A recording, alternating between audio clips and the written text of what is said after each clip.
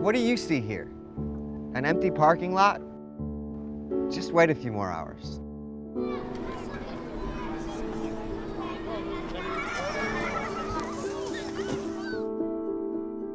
Rebirth and growth in the middle of a city.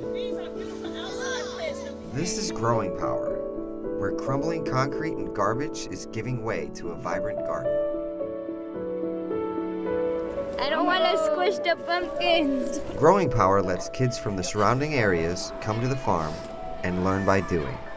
They leave understanding their ability to work with the land, feed their community, and impact their neighborhood.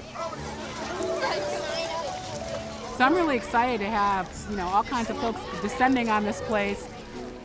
Consider this an oasis in development, a peaceful, wonderful place for all the youth that come here and work here. I want the kids to go home and tell their parents that, hey, there's a farm in Bridgeport in our neighborhood. We couldn't do this work without volunteers, you know, I mean, it's there's so many parts of the puzzle. If everyone does a little bit and, and helps to contribute, we can make a big difference in our communities. One thing about this hoop house, we can grow food year round. If everyone does a little bit and, and helps to contribute, we can really begin solving some of these problems. It's like this could get bigger and bigger and we can help people around the world.